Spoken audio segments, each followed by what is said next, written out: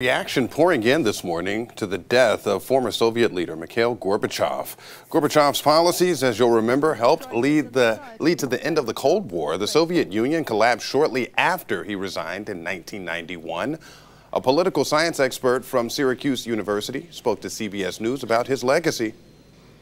I think the end of the Cold War and the collapse of the Soviet Union at the time it happened and the way it happened is completely unimaginable without Gorbachev's decisions as leader of the Soviet Union. In that sense, he's a transformational figure in the 20th century. President Biden issued a statement, that one right there, late last night, saying in part, quote, Mikhail Gorbachev was a man of remarkable vision. It was easy to see why so many worldwide held him in such high esteem.